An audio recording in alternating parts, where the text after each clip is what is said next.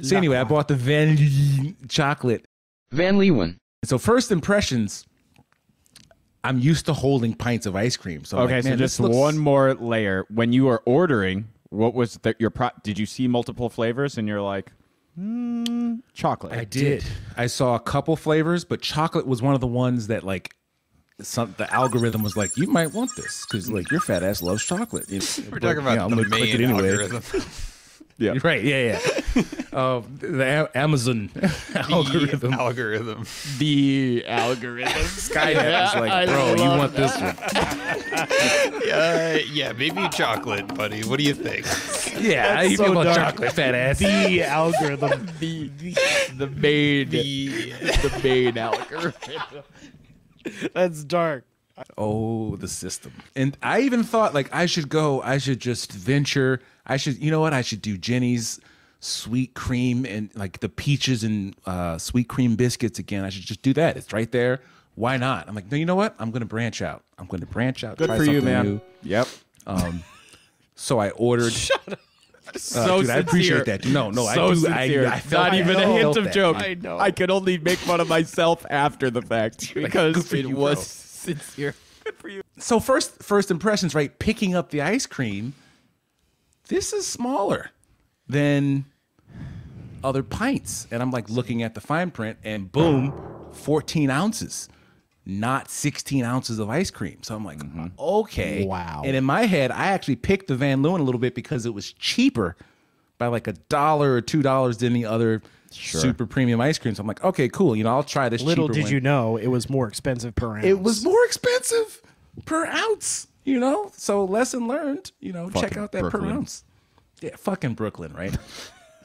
um, but I did not let that determine I didn't even let that like sway how I felt about the actual product. no. Um, although I thought that I, you know, it was like cheap on their part. They cut a corner. The quality, well, actually, in the unboxing, right? So I took off the top, and I was expecting to have something to peel back like another layer, especially in COVID times, right? Nope. Like take off the top, Straight to it's like chocolate ice cream. straight up ice cream. There. I'm How like, did you "Whoa!" feel about that? I felt a little uneasy, Yeah. but it did not deter me. No. A little exciting at the oh. same time. A little, ex- yeah. This has been. Si- it was a little freezer burned. I remember seeing like the the the edge of it was like a little bit. fr- I'm like, oh, hmm. Interesting. But it, you know, it, it wasn't like it was easy to pull off. So like people are in the in the store like just pulling off tops of ice cream. I mean, that's you know, lunacy. that's not happening. that's, that's that's fucking. But like, how do you know though? I mean, you don't. I mean, people could be licking everything in there as they load it in. Like, I don't know. Like, I do remember seeing a, a news story of someone getting arrested for doing that. Correct. Yeah, yeah. Yeah, right. but it was Okay. a customer. Are you not supposed to try? Like, how do you know? You're gonna like? Come on. Okay, man. I have to take this opportunity. I've, I might have told one or two of you a quick aside of young Gabe. I was at one of my parents' gigs, and I'm probably like five, and it was at this old chain called Jet Streams, and it's super like Jetsons, fucking Okay. Diner vibes. My parents have a gig, and they are in between sets or something, and just see me going to different tables, like eating milkshakes and shit like this, like random. They're like, dude, wh- like, like, what are you doing? and I'm like, game. they just left the ice cream. Like, it's just, like they're not. They're not here anymore. So what's like? What's the? Do you see They're anyone probably gonna throw them. Probably gonna throw this ice cream away.